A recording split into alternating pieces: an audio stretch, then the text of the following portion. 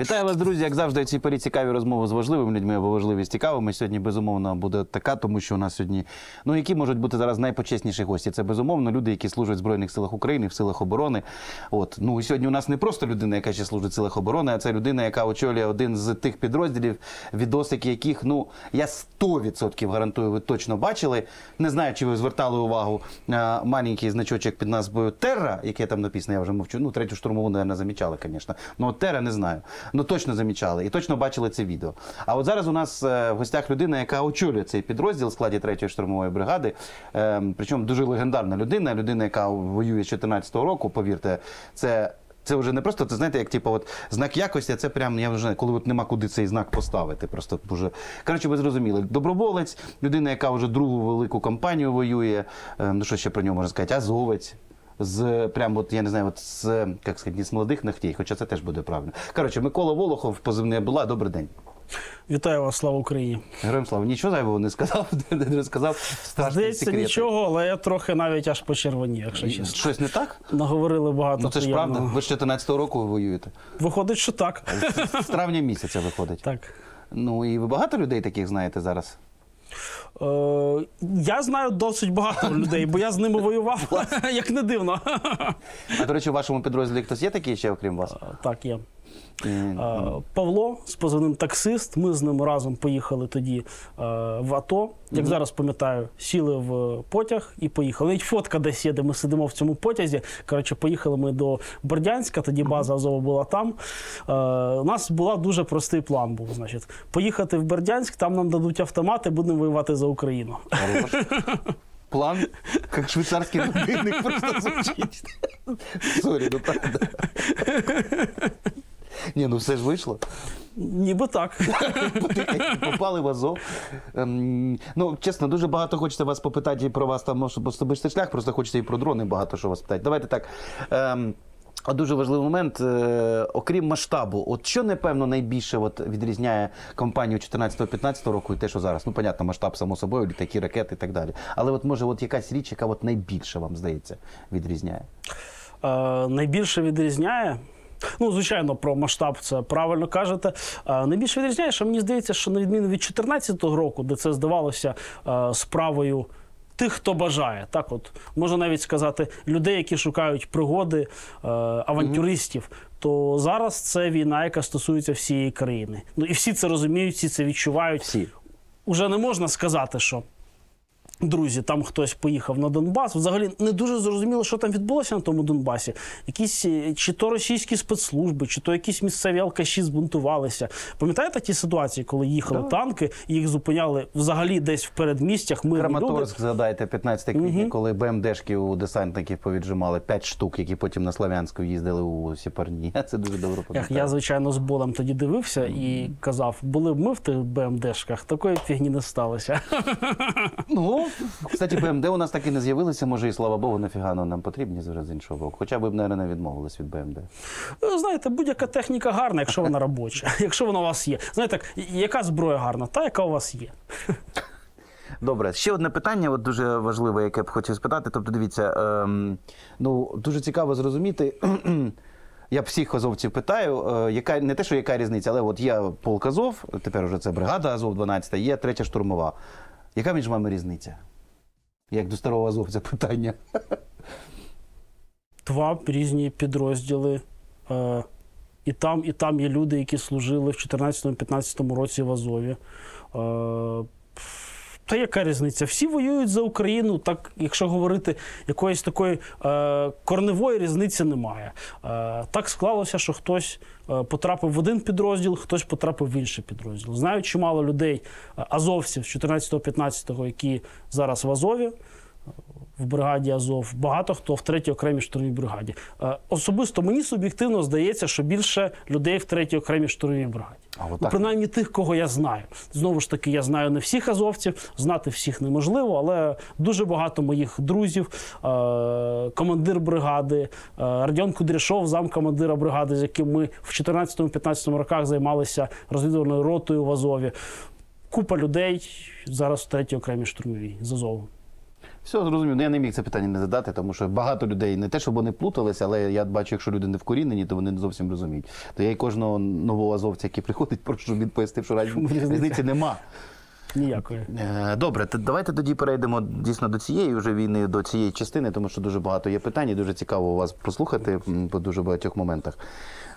Прям гострополітичний момент. Я не знаю, чи ви бачили, от вчора тут гігантський хайп. Міністр цифрової трансформації пан Федоров вийшов з ініціативою, е, щоб, значить, ну там на базі якогось курсу відповідно зробити програму, щоб всі люди вдома самі збирали фіпівідрони. Е, І, значить, потім ці фіпівідрони, якщо вони хороші, їх будуть навіть приймати на озброєння Збройних сил України. Як вам така ініціатива, як людина, яка керує власне підрозділом аеророзвідки і ударною ротою? Е, знаєте, можна багато чого робити, і така ініціатива теж має право на життя, тому що е, давайте згадаємо, що таке FPV-дрони з самого початку. Це хобі. Ну так. Це хобі. Люди купували собі там контролери, двигуни, рами збирали. Хтось там е, батьки з дітьми збирали, підлітки збирали, дорослі дядьки збирали, кому це подобається. Потім або літали самостійно, або приймали участь в якихось змаганнях, гонках, тому подібних речах. В принципі, це цілком можливо. Е, Одне, що є важливим, це той контрольний орган, який буде перевіряти, який буде задавати стандарти, яким, власне, має бути цей дрон. Загалом, якщо собі таке уявити, от є запчастини, перелік запчастин, придбайте ці запчастини або отримайте їх, або придбайте в чітко визначеному місці. Хай держава купить їх оптом велику кількість, створить резерв. І ви вже там купуєте, напевно, надійні, напевно, ті, які потрібні запчастини, в себе їх вдома збираєте. Потім є певний відділ контролю якості, через який вони проходять. Ну і далі вони йдуть наприклад. В такій, в такій комбінації це абсолютно можливо. А можна нескромне питання? Я, я, я, ну, я від е, дурачка, але все-таки. От у нас є купа там скільки вже більше. Ладно, ну окей, ну більше 20 виробників, те, що я так Та навскідку думаю, більше ніж Е, 20. да, ну окей. А, а на що? Тобто, ну замість того, може, варто, щоб просто банально кожен з цих виробників мав чіткий контракт, зрозуміли там з державною гарантією на 3-4 роки наперед, з там кількістю замовлень і так далі. А якщо, наприклад, держава почне виходити на ринок, понятно, що більшість цих деталей не ми ж виробляємо, правда? Ми ж будемо виходити, що конкурувати між самим собою? Ну, може, це дурне питання, просто мені цікава ваша точка зору. Ну, взагалі, от світова практика в бізнесі вона говорить про що? Що всі критичні е, галузі мають бути диверсифіковані. Тобто погано, якщо хтось один виробляє, погано, якщо все сконцентровано в одних руках. Як правило, як правило, не знаю, як буде конкретно в нашому випадку, це призводить до зловживань або якихось там ще поганих негативних речей. Е, от із того, що ви кажете, дійсно, із тих виробників, які існують, я просто знаю проблематику цих виробників, багато з ким спілкуюся. Ми самостійно замовляємо багато е, у кого велику кількість дронів. Це відсутність державних контрактів. От щоб комусь почати щось виробляти, от щоб з нам, нам з вами почати, от, наприклад, вирішимо зараз виробляти щось. Я непогано в дронах розбираюсь, до речі, які вони там таке, мають да. бути. Да, знаю, як їх застосовувати. І вирішимо ми виробляти, вирішимо ми закупити. Що нам потрібно? Обладнання, запчастини, персонал. Так? Е, Вирішимо ми закупити, наприклад, запчастин на. Ну, хай це буде 10 тисяч дронів. Так? Е, Не, кисло, ви так зразу в одну захопили. Ну, Окей. знаю потреби, знаю потреби, тому можу собі так уявити. А, питання: чи в нас їх куплять? Чи скажуть сьогодні, що куплять, а завтра що не куплять? А чи трапиться так, що держава скаже: е, да, хлопці, закуповуйте, ми готові. Ми, от, наприклад, з вами порахували, яка буде ціна у цих дронів. Пропонуємо. Е, держава каже, закуповуємо, а потім через місяць каже, ми передумали, ми купимо у вас. Але, наприклад, в півтора рази дешевше. Або не купимо взагалі. Тому оце є велика проблема для приватних виробників це контрактування державою наперед на рік, на два роки, або гарантований якийсь об'єм, щоб це було якби нормально. Тому що весь світ, е, вся військова промисловість це цивільно-державна співпраця. Повсюду цивільні виробники виробляють військову техніку, військові літаки, боєприпаси, ракети. Тобто, вже давно у всьому цивілізованому капіталістичному світі це так. Мабуть, і у нас гарно було б, якби сталося так. Ну, я просто sorry, що не міг не спитати про це питання, бо я зараз бачу, там срач до небес стоїть, вже виробники дронів доєдналися до срачу, то я думаю, я ж не можу вас не спитати вашу точку зору з приводу цієї ініціативи. Я, наприклад, особисто вважаю повним дур'ю, ну це вже тільки моя точка зору. Щоб складали люди Ну, самі. абсолютно. А, Ну. ну, дивіться, це питання розподілу. От скільки відсотків ми можемо на таку штуку направити? І взагалі я би з листочком рахував. Чи яка економія, так? Чи економія, чи дійсно збірка буде настільки економна, і ми зекономимо таку велику кількість грошей? Да? Скільки на це людей поведеться? Ну як поведеться, скільки згодиться? Так?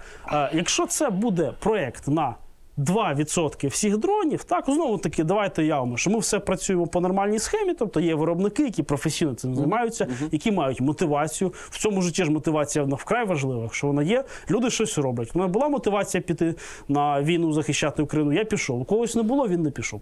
Ну і так насправді все в цьому житті. Якщо це буде якийсь невеличкий відсоток, якщо це буде експеримент, то Бог з ним хай граються. Якщо говорити про глобально, ну все на це поставити, то звичайно у мене є велика підозра, що щось накриється м'ядним тазом, щось піде не так. Зрозумів. Добре, окей. Е, Тепер дуже цікаво, е, я вас так попитаю з вашого дозволу, бо ну, ви відповідаєте там, наскільки можна це публічно відповідати, але просто мені цікаво от, по аспекти дронової війни. Тобто, ну, по-перше, чи погоджуєтесь ви з тим, що говорять дуже багато ваших колег? е, Що росіяни нас вже прямо на голову обігнали в плані дронів, і догнати їх буде вкрай складно. Чи ви взагалі взагал, загальне таке визначення окни чи, чи ні? Якісь трохи панікерські настрої. Знаєте, е, я пам'ятаю початок війни, коли всі кричали там е, тисячі одиниць бронетехніки і е, сотні тисяч російської піхоти вже під Києвом. Нам капець, шансів немає. Треба бігти. Треба коротше, а ще треба, коли біжиш, стріляти один по одному. Пам'ятаєте, була купа збросів, що там е, захопили е, машини полі- поліції, захопили машини швидкої допомоги. А потім постріляла 72-гу бригаду. Да, да, да. Давайте стріляти, бігти в різні боки, стріляти один одного, всьому конець. Дуже складно сказати. Взагалі, е, військове завжди пов'язано з певними таємницями. Всі завжди намагаються такі, знаєте, як павліни. Хвости розпушити, показати, що у нас там, як там Росія казала, кінжал, надзвукова ракета, збити неможливо, вам всім гайки. там. І всі, звичайно, намагаються. Це частина, е, скажімо так, інформаційної війни показати супротивнику, що він уже програв, довести його до того стану, стану відчаю, що вже нічого не можна зробити. Ну як це виміряти? Чи можна, чи не можна щось зробити, чи більше, чи не більше? Я скажу ситуацію на фронті. Е, от ситуація на фронті така: я їхнього домінування в компоненті впівдронів не відчуваю. Чи є у них впівдрони?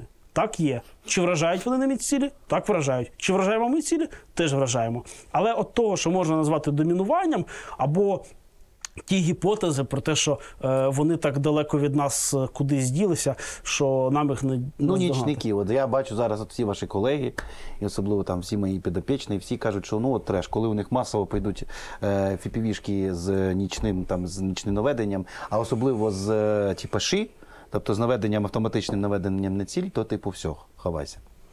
Оцього всі дуже бояться. А коли в нас з'являться тоді що? А ми ж ні, ні, ну понятно. Питання мене розумієте, я в чому про це кажу. Мене дуже хвилює, от ми з вами згадали більше 20 виробників. Воно добре з одного боку. А з іншого боку, у Русні є що? У них є 4-5 моделей і величезні конвеєрні лінії, які вони просто вони можуть бути найкращі дрони, але їх так багато, що просто я не знаю, ми встигнемо за ними в цьому сенсі. От цікава ваша точка зору. Е, У мене є от таке відчуття, якесь глибинне, що взагалі рано чи пізно це все буде переорієнтовано на китайські виробничі потужності. Е, Компоненти то їдуть звідти, 100%. то і збирати, скоріш за все, можна і там. І е, якщо говорити ж знову про ці всі конвеєри, ну вже ж скільки казали, що у росіян стільки ланцетів, що ховайся, скоро ланцетами будуть е, по піхоті і взагалі там або просто по, як кажуть, там коровам і собакам стріляти просто по приколу. Але ж цього не сталося. Всі говорять про великі виробничі потужності. Я певен, що якісь потужності там є. Наскільки великі, Складно сказати. Взагалі, війна це така штука, в якій обидві сторони взаємно адаптуються одна до одної постійно. І е, тут зайняти якусь таку домінуючу позицію раз і назавжди е, навряд чи вийде. Е, росіяни придумують, е, якщо в них будуть дрони з такою технологією, будемо протидіяти засобами РЕБу.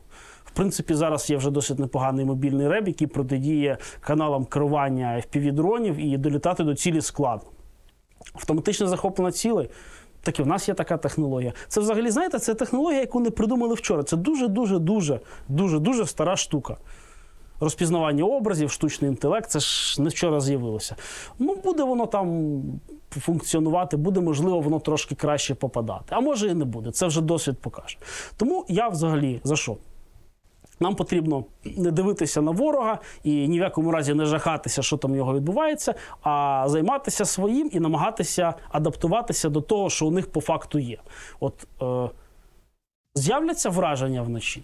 Треба щось думати. Ну, треба наперед щось думати, звичайно. Ну, відоси засоби мобільного репу.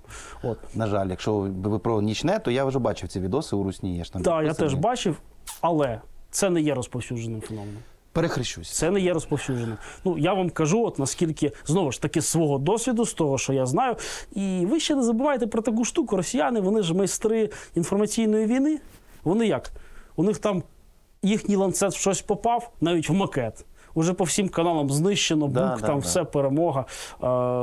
Я намагаюся на це не відволікатися, тому що для мене особисто від того, чи стало в них більше FPV-дронів, чи розгорнули вони виробництво, для мене нічого не змінюється. Я буду продовжувати робити те, що я роблю, а займаємося ми наближенням нашої перемоги якомога швидшим. Ну і на це, на це більше концентрувати увагу. А для цивільного е, населення концентрувати увагу знову ж таки не на е, відчуття жаху перед тим, як там у росіян, а на думки, а що ми можемо зробити, щоб їх перевершити. Супер. Тоді, от теж дуже цікаве питання до вас. ем, З того, що я читаю, знову ж таки, бачу, що кажуть ваші колеги, що у нас трошки різна навіть тактика з ними використання. Тобто ми більше націлені на техніку, на вибивання їх там техніки, арти, ну куди дістанемо. А от вони можуть реально е, і дуже часто нібито використовують випівішки в тому, щоб просто роздалбувати наше укріплення. Тобто кожен день. Одно і те саме, там, умовно, я не знаю, там якийсь бетонний дот прилітає ФПВ-шка, просто щоб роздолбати шлях для піхоти. Це так чи не так? От дуже цікаво. Чи відрізняється тактика? Якісь, може, якісь є особливості у них, е, щось як не зовсім як у нас працює. Ми точно так же робимо. Точно так же. От є якась яма, значить, там сидять кацапи. Ми це знаємо. І ми, значить, день у день в цю яму залітає впівдрон з осколково-фугасним боєприпасом. З кожним разом залітає все точніше, тому що пілот покращує свої навички. Залітає, залітає, залітає, залітає. Насправді, е, колись у нас була така панівна ідея. Я не знаю взагалі звідки воно береться. Воно, як на мене, трохи хворобливо, коли починаються дискусії. А скільки має бути росіян в одному місці, щоб ми не пожалкували Щоб не жалко було FPV-дрон, туди. Просто А який танк ми маємо вражати FPV-дроном? Колись мені там розказували, що е, та це ж 64-ка. Не треба, да, типа? Ні-ні-ні. Це, це взагалі треба, типа, треба нормально, треба Т-90. Да? Чи давайте, може, почекаємо, поки армата приїде сюди, чи там термінатор. І тоді ми. Ну, я вам так скажу, це, звичайно, от хтось любить такі розмови, це якісь розмови в пользу бідних. Ми точно так же вражаємо ворожі укріплення, точно так же вражаємо ворожу піхоту. Ну, це, як знаєте, питання: а скільки набоїв вам не шкода випустити по ворожій піхоті? Ну, у вас є пріоритетні цілі, ну от якісь, які от прям там от летить пілот, йому кажуть, от якщо це, то це першим ділом, все остальне пофіг. Ні, ну Оце. безумовно. Але сучасна війна вона воюється малими групами. Тобто такого, щоб виїхало там 15 танків, з них там 5 таких. І 10 отаких там, а, і ще командний танк обов'язково з прапором там їде, і ще піхота біжить повсюду. Ти злітаєш, у тебе десятки цілей. Ти думаєш, в що мені влетіти? Він каже, давай, да, да, да, да, да. все воно тут. А, такого немає. Всі воюють, воюють малими групами. Звичайно, є пріоритети бронетехніки, але я вам так скажу: FPV-дрон – це такий швидкий засіб. Якщо все нормально організовано, давайте з власного досвіду. Е, до двох хвилин на зліт, це якщо всі сиділи, пили каву, взагалі займалися побічною справою, цілей не було. Угу. До двох хвилин він в повітрі, і до двох хвилин, до двох хвилин він долітає в будь-яку точку, е, в крайню точку за радіусом свого враження. Угу. Якось так. Тому, е, Тобто і- ніхто там, там кругами отак не літає, не наматує по півгодини, щоб знайти ціль там умовно, чи таке теж буває. Ну, є, є такі тактики. Є, є тактики баражування. Так? Е, ну, давайте. Ну, не, не треба всіх секретів Ні, ніяких секретів я вам не розкажу. Але але е, можна мати першочергові цілі, можна мати другорядні цілі, можна баражувати у зонах активності ворога. Так? І всі ці тактики ми застосовуємо. Можна працювати по ситуації. Ситуативним цілям можна працювати. Я знаєте, зараз буду говорити загальними військовими словами, щоб було Ідеальна фраза від військового. ду- дуже цікаво, але нічого не понятно. Е, можна працювати по плановим цілям, можна працювати по ситуативним цілям, можна визначати цілі в рамках ситуативних першого пріоритету і планову ціль другого пріоритету. І так можна теж. Останнє, що спитаю, ну от умовно кажучи, от як е, наскільки ефективним є, наприклад, використання з вашої точки зору в півішки, от рухається група піхоти? От, наприклад, відео там не знаю, там виносять поранену група евакуаційна поран... е, там ворога ворога. Чи варто на неї використовувати півішку? Е, знаєте, як е, є таке середньовіще прислів'я. Е, чи це не прислів'я? Я не знаю, як коректніше сказати. Я просто раніше е, дуже цікавився середньовіччям.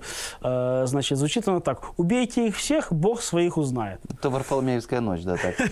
По, по, по легенді, так, коли спитали королеву, типу, а як ми поймемо, де гугеноти, Так. де? Ну, убивайте всіх, Бог пойме, хто да. Да, ну, Бог своїх да. узнає. В цьому разі також. Я гадаю, що е, всі кацапи, які прийшли на цю землю, е, неважливо в якому напрямку вони рухаються. Ні, я про пріоритетні стилі. Просто я маю на увазі, щоб всі, всі кажуть, не вистачає фіпівішок, не вистачає так. Може, не ну, типу. От я ж кажу, от про пріоритетні стилі з точки зору ціна якості. Я оце мав на увазі. Це мені дуже цікаво. Знаєте, от тут знову ж таки е, концентрація зусиль е, на те, щоб їх вистачало. На цьому треба фокусуватися. Подивіться на те, що діється в спільноті. Уже FPV-дрон робиться у кожному гаражі. Ну, особисто. Те, до чого ми дійшли в третій окремій штурмовій бригаді, що е, от у нас такого прямо, щоб от доводилося вибирати, чи ми в БМП вдаримо, да, чи в танк, чи в цю піхоту, такого вже давно немає. Тобто вистачає. у нас вистачає. Чи можна більше, чи потрібно більше? Так потрібно більше. От уявіть собі, є лінія оборони ворога. Якщо ми в кожен із в кожну із нір вгатимо по одному FPV-дрону з, е, наприклад, е, термобаричним боєприпасом, гарно? Ну, ідеально. Гарно. А якщо по два? Ще краще. А по чотири, а по п'ять. А якщо те саме повторювати день і вночі, чи зможе хтось там жити, хтось там тримати позицію? Звичайно, не зможе. Тому впівдрон це такий засіб, що його ні, чим більше, тим краще. Тому що він надточний і є дуже гарний. Знову ж таки, бачите, ви знаєте, об'єктивний контроль. Без об'єктивного контролю ніяк, а в темі з впівдронові він присутній завжди.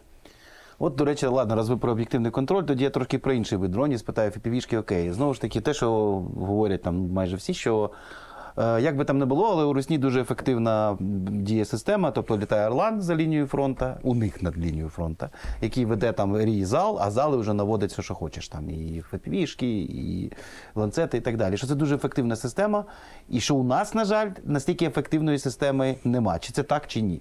без подробиць. Чи дійсно ми програємо їм з точки зору от такого системного підходу в плані і розвідки, і в плані наведення, і в плані всього, от такої системності? Бачите, ми з ними асиметричні насправді. Я досі вважаю, що ми домінуємо е, в тих інструментах, які потребують більше ініціативності знизу, так і до яких можна докладати волонтерських зусиль. Ну знову ж таки, от, там, що може купити волонтер, що може купити волонтерський фонд? Ну може купити Мавік, правильно? Матріс може купити. Ну що, може домовитись з виробником і купити там трійко, фурі, валькірі, там ну що треба, куп, шар, шарки, шмарки. Ну, але, що танк, надо? але танк не купить. Танк поки Але що танк ні. поки що. Це Ні, може хтось знає, де купити танк. Якщо хтось знає, хай скаже. Кран окей, можу, ну танк ні, це, не можу. Ні. Ми з ними асиметричні. Ту компоненту, яку вони готували заздалегідь до цієї війни, це якраз е, е, на двигунах внутрішнього згорання е, крила. Дрони крила, які мають більший е, запас е, перебув, часу перебування в повітрі, які мають більшу дистанцію, можуть пролетіти. Так? І ту систему, яку вони вибудовують, там що на одних е, орланах у них ретранслятори, на інших камери денного бачення, на інших нічного, на деяких, на деяких є навіть скиди. Це, звичайно, трохи смішно звучить, але є і таке. З Орлана? З Орлана є скиди. Цікаво. Воги кидають з Орлана. Не знаю, хто це придумав і навіщо. Ну, коротше, а, але я бачив, я бачив Орлан, в якому вбудовані воги зі системою скидання. Цікаво. Ну, це, коротше, вже якесь ізвращенство, але тим не менше. Е, Вони цю компоненту заздалегідь готували, вона у них була підготовлена до цієї війни. І дійсно в ній, в ній вони нас випереджують. Але в тій системі, там, де у нас мавіки, матріси, все-таки ми Це знову ж таки моя суб'єктивна думка, яка базується на моєму досвіді е, війни у складі 3-ї окремої штурмової бригади. За всіх не можу сказати, можу сказати тільки за той досвід, який власне сам маю. Е, але у цій компоненті ми ще досі їх випереджаємо. Тут ми ініціативні, тут ми самі скуповуємо ті мавіки, придумуємо тактики застосування. Е, тому воно так асиметрично. Сказати, знаєте, от просте. Якби вони нас у всьому випереджали, знову ж таки, зараз багато розмов там у росіян краще те, у росіян краще те. Так, дійсно, щось у них краще, ніж у нас. Ну це факт. Але якби у них все було краще, ніж у нас, то, мабуть, ми б не трималися так, як зараз. І, мабуть, би у нас не виходило місцями навіть контратакувати, відбивати свою землю. Причому, знаєте, не в тих місцях, де її віддали на халяву, де просто ворога не було, був сіряк, і ти зайшов. А прям в боях за кожну посадку вдається ж місцями це робити. Значить, ми з ними десь асим... Якщо вони десь нас кращі, то ми десь краще за них. Значить, є асиметрія. Ще одне питання, яке дуже цікаво, ваші враження, це реп. Тому що знову ж таки, з одного боку, у нас є дуже великі успіхи, і прям серйозно великі успіхи. З іншого боку, ну російський реп це от проблема. Ну давайте так, е, якщо в цифрах, ну якщо можна про це говорити, реально, от з 10 дронів, скільки реально через дію ребу, скоріш за все, можуть не долетіти наших? А скільки їхніх? Російський реп. Російський реп, да. Російський реп. Наскільки він ефективний? А- Копний реп, у них же ж його дійсно дуже багато. І копний, і оцей стратегічного рівня, всі ті Борисоглебські леєри, вся ця фігня. Дійсно. У всьому світі прийнято так вважати. Знову ж таки, все військове досить важко якось об'єктивно замірити, тому що всі розказують про своє, завжди хвалять його і, як правило, перебільшують його можливості. Це теж компонента війни. Розповісти, що у вас е, солдати кращі, швидші, сильніші, і вся зброя краща, і ви ніяк у нас не виграєте. От, а значить, дійсно прийнято вважати, що російський реб є дуже сильним. Е, Зразу відповім на ваше запитання. Е, У нас як те, що і у росіян, в принципі, воно середнє по лікарні одне і те саме. Один з трьох. Один з трьох. Один з трьох, да, один з трьох. Але оті два, які не долітають, є різні фактори впливу. По-перше, їх іноді збивають. А по-друге, наш реп також впливає на наші конечно. дрони. А, наш реп. Наш реп впливає. І я вам більше скажу, він має переваги перед ворожим, бо він знаходиться ближче, ніж ворожий до наших. А, а ще є така штука: е, людині е, властиво готуватися до того, що вона розуміє. От наш ребівець такий дивиться, так, на яких частотах у нас літають? Ага, на цих, на цих, на цих. От ті я і хлопну. Ні, ну такі вороги, мабуть, на них літають. Ну це ж очевидно. Тому якось будемо. Більше працювати по тому, що розуміємо.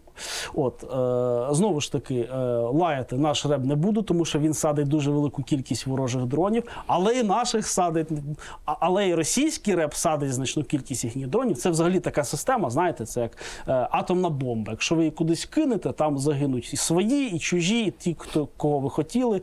А, або е, рибалка електровудочкою закинули, там хотіли зловити щуку, а зловили все там в радіусі якоїсь кількості метрів. Е, це є проблемою, але це не відчувається якоюсь, знаєте, от проблемою, яку не можна подолати. От був період часу на початку минулого року, коли от у нас там погано літали мавіки. От щось росіяни таке робили, а ми ще не дійшли своїм розумом, як нам протидіяти. От ну не могли ми нікуди долетіти. Це була проблема. Два кілометри не могли прилетіти, не могли дати нормальну розвідку, не могли дати нормальне коригування вогню. Потім ця проблема була подолана.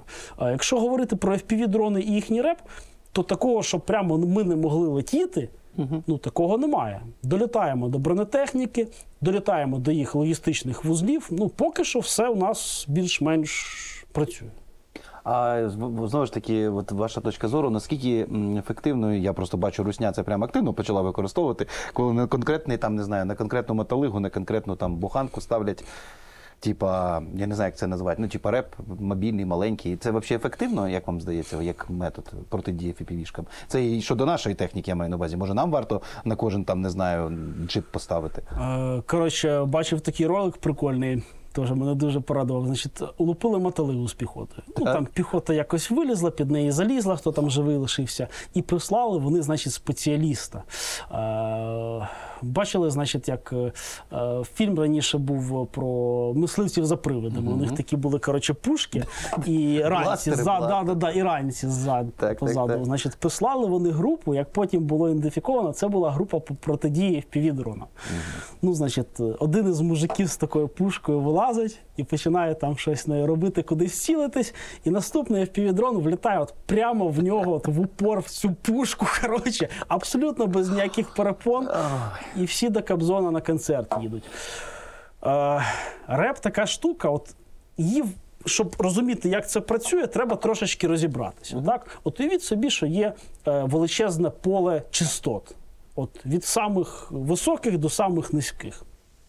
І е, можна подавити якусь частоту або якийсь діапазон, і чим цей діапазон вищий, тим сильніше ви можете впливати. Але для цього вам потрібно під роботу по кожним частотам специфічна техніка, окрема, так? Тобто немає універсальної коробки, яка б давила всі частоти взагалі, на якій би стояли всі антени взагалі. Вона працює в якомусь діапазоні, звідси сюди. І є конкретна ворожа техніка, яка також працює, або наша в якомусь діапазоні. І якщо ви в моменті вгадали, а от давайте такий самий простий трюк вам розкажу. Значить, Е, літають всі, значить, на якійсь чистоті управління. Ну, на якійсь там. От ми літаємо. Ну, ворог там дивиться з часом і доганяє. От це українці літають на цій чистоті, будемо з ними боротися. А ми, значить, Міняєте запасли, частоту, да. каварно запасли, значить, 40 дронів взагалі на іншій частоті. І запускаємо два на звичній частоті, вони не долітають. Ну і ворог їх там пеленгує, тобто можна. Є обладнання, яке дозволяє визначити, на якій частоті що працює там в певному радіусі. І тут ми дістаємо ці 20 дронів, до якої ворог не готовий. І, і, і що робити? І виходить, що весь реб не працює. І це таке питання: е, що з тим мужиком, який з пушкою був? Мабуть, не ті частоти були. От. Ну, дай Бог, щоб так воно завжди в вашій діяльності завжди і було. Ну, Я просто чому питаю, бо в мене просто купа підопічних зараз от буду з- купувати. Люди почали задумуватись, тому що ну хоча б на крупну техніку собі Е, ставити. Треба, треба ставити. Тут однозначно, і ми також працюємо у цьому напрямку. Наскільки ти можеш себе убезпечити, так? Тому що, як в статуті написано, що перш за все, що має зробити військовослужбовець, це виконати бойове завдання. А, Вижити. а я от так, а я от кажу, що перш за все це вижити. Тому що якщо ти не вижив, то ні про які виконання бойових завдань ти мова не може. Тому перш за все треба думати про власне виживання. Якщо ви командир, то про виживання ваших бійців, ваших підопічних, і не треба жалкувати жодних коштів, тому що життя воно насправді. Точно безцінне, от е, жодних коштів, жодних ресурсів для убезпечення. Ставити такий реб не тільки на танки, але й на пікапи. Е, і чим буде він більш е, широкополосний, так, тим, Тим краще. Добре, тоді зараз задам е, питання, яке точно не треба задавати керівнику підрозділу, який займається БПЛА, але. е, Це ну не те, що вічний спор, але це просто я дуже люблю артилеристів тролити. Вони коли чують слово там ФПВ, кажуть, опять ви зі своїми фіпівішками. Ну каже, ну типу, що там этот ФПВ там? Кілограм ваше цей каже, ви наведіть нас, а у нас уже кабан прилетить і буде справа. Так ем, я до чого веду? Ем, Може, ну от дуже, от якби у вас був вибір зараз, як от ви були зараз міністром оборони, вам би сказали, в що вкласть державні кошти? В гігантську програму ФПВ розвитку, чи все-таки випуск власних артилерійських снарядів? Що б ви вибрали? Е, тут, знаєте, такої відповіді немає простої. Е, військове працює в синергії. От що краще мати? Літаки чи танки? Да? А, що краще, гранатометчик чи пулеметчик? Це прям по дерев'янськи пішов. Да, да, да, да. А, а що краще? Да? А хто сильніше, Кіт чи слон? А, ну, Хороше питання. Да. Тому, якщо говорити професійно, то звичайно все має працювати в комплексі і в синергії. Якщо говорити про артилерію, взагалі мій підрозділ, починаючи з Херсону, ми були компонентою артилерії. Ми працювали з артилерією 28-ї бригади, і, чесно кажучи, я от в той час е, про якісь там дрони зі скидами, якісь дрони FPV, я взагалі, я от як ви кажете, на що воно все потрібно? Ми зараз сюди 155 загонів. Там буде смерть і руйнування. Але є проблема, що цим 155 попасти потрібно зробити. От я вам кажу свій досвід. Хтось може не згодиться, але це такий досвід для враження однієї цілі е, артилерії, так, нормального, від 10 снарядів. Це при коригуванні вогню. Від 10. Що то дофіга, чесно кажучи. Це як-то от, це страшна правда. А знаєте, скільки бувало, що ми всаджували? Це з паладіну 155 калібр. Ну це ж нормально, Та це прям хороша, вже це прям висока точка. Ну, да, висока точка. А бувало і по 40 снарядів. В ціль. Щоб вразити одну ціль. Ну, тому що це був капанір з Ага. бетонною плитою зверху. Так, не проста ціль. А ще хочу сказати вам наступне: що щоб вразити бронетехніку, так в неї треба реально попасти Ну да. не 20 метрів. Не якщо там пил від вибуху до неї дотягнувся, то вона вражена. Не гіпотеза, що так пощастило, що особливо великий осколок до неї долетів, так для того, щоб отримати точне враження. Е, Взагалі, знаєте, чому людство так е, терпіло і так багато зусиль витратило на те, щоб зробити атомну бомбу? От навіщо? Е, Якщо ну, і артилерія, і калібри, флотські калібри, і авіабомби там по 1500 кілограм. На що ж вони ту атомну бомбу робили так заповзято?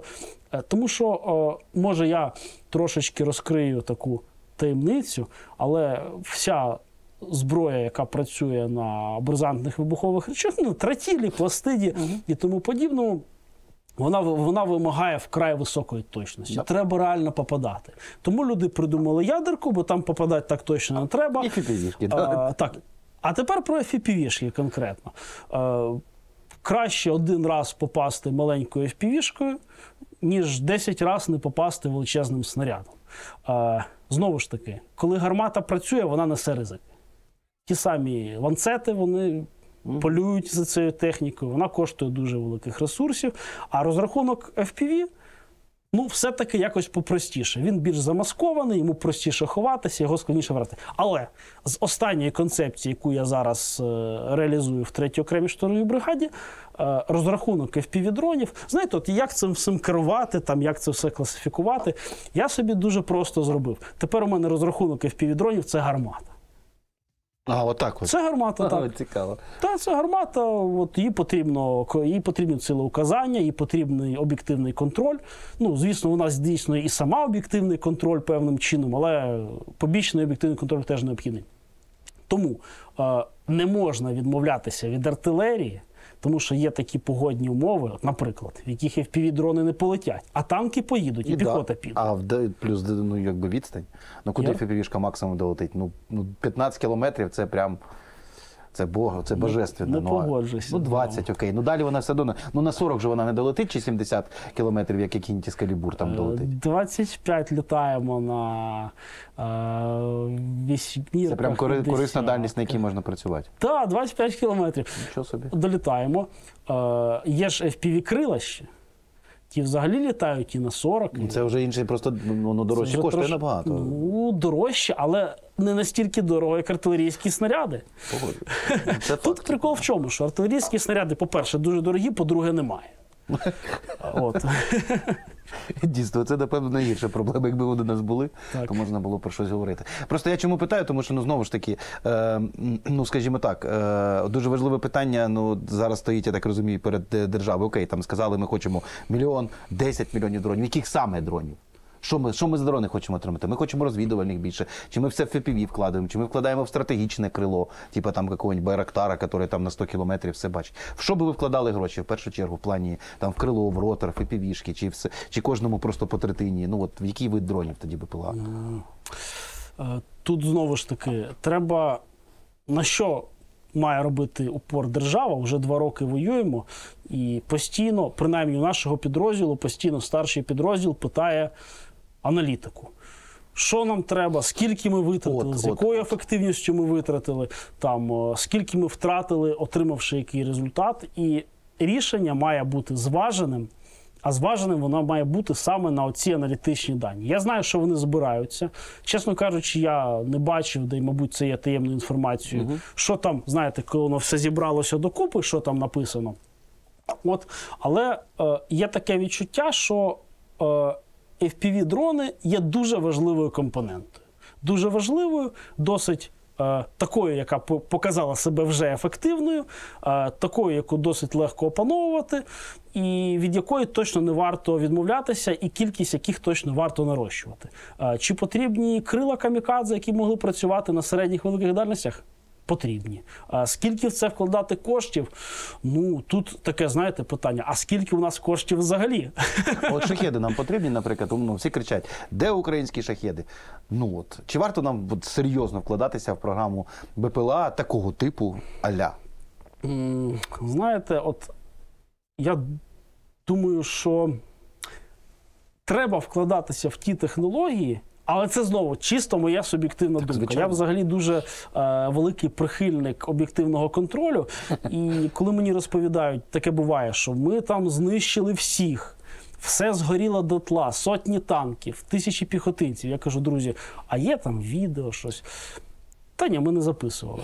Я кажу, а що не записували? Мабуть, у вас настільки багато таких крутих вражень, що ви вже і не пишете. Він каже, та вистачає. Е, мені здається, що варто вкладатися в ті технології, які можуть мати об'єктивний контроль. Е, якщо ми можемо створити чи придумати таку тактику застосування, при якій цей український шахет чи щось там летить, вражає цілі, є об'єктивний контроль, це гарно. А як ти зробиш об'єктивний контроль, умовно, за тисячу кілометрів? Ну от направив ти його, ну от як шахет. Слава Богу, тьфу-тьфу-тьфу, поки що ж на шахедах камер, камер нема. Ти ж не можеш картинку отримати з шахеда. Ти його там запрограмував, воно собі якось летить. Ну а як ти получиш? У нас же авакса нема свого, як ми отримаємо який об'єктивний контроль? І супутників ну, да, мало. це, це є велика проблема. І я знову ж таки, е, я особисто не працював з е, дронами великої дальності, так знаю, що вони є, але. Живучи все життя в українському суспільстві, я передбачаю, що якщо щось не буде мати об'єктивного контролю, то там можуть виникнути зловживання. І тут ми задаємось питання: а скільки відсотків ми могли би, ну, якийсь відсоток Називаємо це е, венчурними інвестиціями. Так, венчурними інвестиціями в враження на великій дистанції. Так, якийсь відсоток так. Е, намагатися знайти дійсно порядних людей, які б виконували ці завдання нормально там.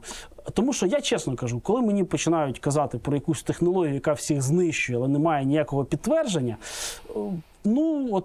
от Ну, от якось нема довіри. Особисто, ну це знову ж таки особисто в мене. Тому що е, я працюю на фронті, в мене там все зрозуміло. Є команда, вона когось знищила. Ти кажеш, покажи відео. Каже, там знищили танк, всі 200, е, покажи відео.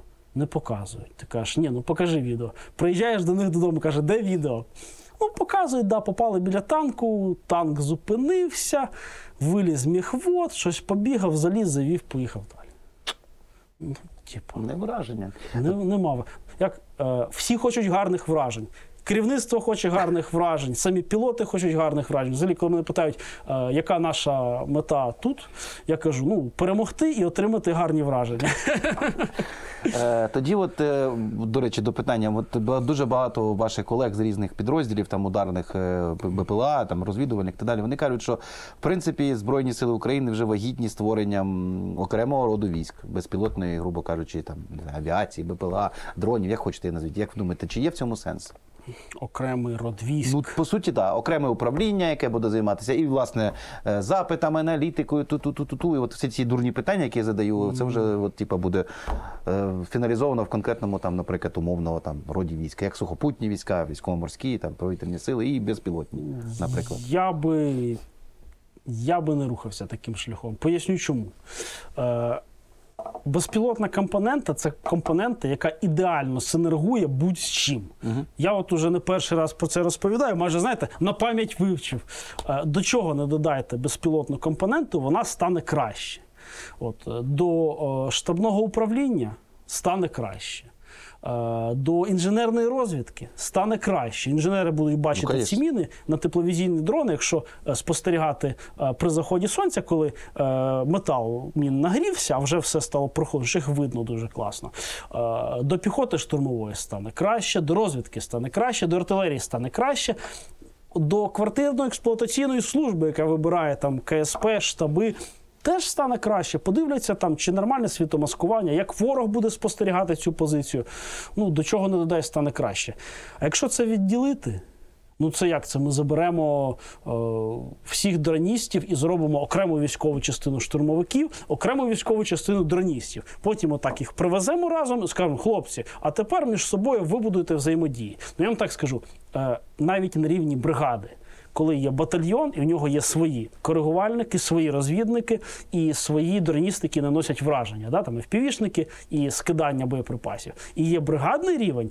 Завжди краще, якщо батальйон використовує своє рідне і власне, ніж якщо йому дають бригадне, тобто прикомандировують, так?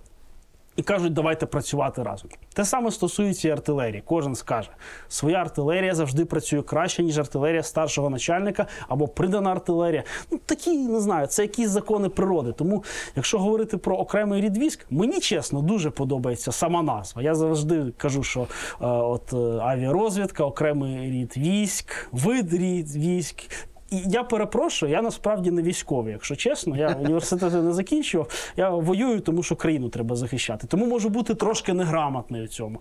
От е, Та ви грамотніше, ніж будь-хто. Ви командуєте одним з найбільш ефективних підрозділів, які кожен день це на фронті робить. Ну, може, я Ваша думка погано найважливіша насправді. так, а може я звідти погано пишу неграмотно. Ну, це понятно, у вас там ще от така стопка журналів не заповнена. Дрони всі списали? От і не будемо починати. Ми стоїмо на шляху до того. Але до речі, в нашому в нашому батальйоні, е, який нещодавно розпочав свій шлях, поки що все згідно відповідно, і ми докладаємо зусиль дуже великих для того, щоб все було саме так. Насправді у військовій бюрократії є сенс. Е, Дійсно, і було складно на початку, коли тобі треба вибирати між тим, чи ти воюєш, чи пишеш журнал, то ми, звичайно, вибирали воювати. Але краще, звичайно, якщо є ресурси на те і на те. Ну, але знову ж таки ремарочка, якщо в мене буде в майбутньому вибір воювати чи писати журнал, на жаль, я буду вибирати перше. Зараз хтось в штаб- в штабі трошечки йому стало погано, він так обмахується в цей момент. Ладно. Звільнять, звільнять з армії. А, Да. а не можна звільнити з армії. Не до речі. можна, так. Ні згідно, ні відповідно не вийде. Добре, і от останнє питання буде взагалі невеселе, ем, ем, яке знову ж таки всім військовим задаю. Е, Скажімо так. Е, Не те, що там ваше ставлення до там того закону, цього закону нема. Е, Коротше, що, що на вашу точку зору треба зараз робити для того, щоб поповнювати лави Збройних сил України? Чи треба жорстко, чи треба більше мотивувати, пропагандувати? Ну тобто, от в цілому. Ну тому що абсолютно очевидно, що вибачте, в бригадах по 50-60% людей треба людей. То що робити? Треба людей. Е, перше, людину примусити воювати неможливо. От якщо ми говоримо про управління, так, цивільне управління, військове управління, знаєте, я от колись таку фразу, чи то я і придумав, ще десь прочитаю, вже не згадаю, як е, на російській мові, як історгнути з чека труд. Да? От менеджмент це ж про це, як зробити так, щоб люди робили те, що ти хочеш. Да? От є там більш архаїчні методи насильства фізичного. Да? Можна людину там е, бити палицею і примусити носити, наприклад, мішки. Можна. От можна мене почати бити палицею, я думаю, що я буду І носити заповнювати мішки. журнали нарешті. Да, да? навіть заповнювати. А от журналом уже складно. Я можу там якусь почати писати, вже контролю немає. Тобто фізично насильством з людини можна здобути. Мабуть, найпростіші види праці. А війна, хто б що там не думав, це ж не змагання м'язів, це не змагання е, фізичної тупої сили, це змагання розуму, це змагання хитрості. Так. І тому я вважаю, що воювати примусити неможливо, можна тільки замотивувати. Тому е, уже так склалося в сучасній Україні, що мобілізація має негативні конотації. Мобілізація це ловлять десь примусово, пихають в бусік, тебе привозять і направляють до незрозумілого підрозділу. Але є альтернатива мобілізації це рекрутинг.